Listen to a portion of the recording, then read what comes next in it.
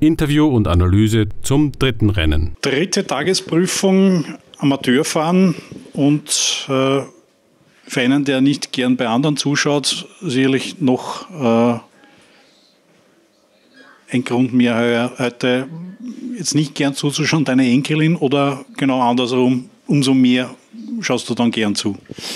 Na, ich schaue schon gern zu. Speziell, äh, äh, ja, die äh, Steffi ist äh, sehr motiviert und äh, geht das mit großer Freude an. Ich hoffe, dass sie äh, auch entsprechend in diesen Feldern akzeptiert wird von den Mitbewerbern. Das ist ja oft bei Mädchen ein großes Problem. Wir haben ja das schon einmal mitgemacht und ein paar Mal gesehen. Das ist ja nicht immer ganz leicht. Aber trotzdem ist sie so ähm, programmiert, würde ich jetzt einmal sagen, dass sie dieses Rennen einfach mitfährt und äh, einfach schaut, äh, wie sie äh, da geht in diesem neuen Betätigungsfeld und äh, wir hoffen, dass alles gut geht und äh, ich schaue mit Freude zu, sie fährt mit Freude und es gibt auch noch einige andere, die sich sehr freuen über dieses Ereignis, äh, das ja durchaus im Sport wichtig ist, weil wir brauchen junge Leute. Statt Nummer 9 innere Nummer quasi mittendrin statt nur dabei, wird es dann heißen, weil die Piepenau kann ja nicht so schlecht anfangen. Ein unkompliziertes Pferd, nehme ich an, ja, weil Sicherheit, glaube ich, wird einmal primär den Vorrang haben. Ja, aber sie wird losfahren. Warum nicht? Sie hat das trainiert, sie kann das, das ist nicht das Problem.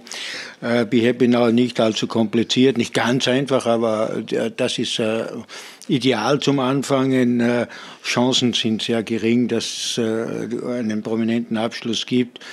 Aber trotzdem, wie gesagt, äh, Step by Step und das Ganze ruhig angehen und anständige Rennen fahren, dann geht das, denke ich, schon in eine anständige Richtung dritte Rennen mit Viererwette-Jackpots in die Viererwette einbauen sollte man die Fanny Rose Venus, denke ich, auf jeden Fall zum Gewinnen. Mit der Ausgangslage wird es aber schwerer als zuletzt, oder?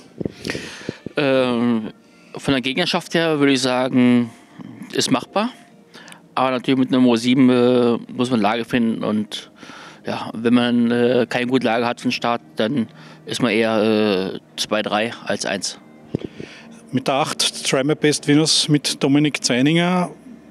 Schlechte Nummer, aber hat die euch zuletzt auch ein wenig überrascht mit der ganz so starken Leistung, dass sie dabei sein kann? Ja, aber hat eigentlich sogar um den Sieg lang mitgekämpft.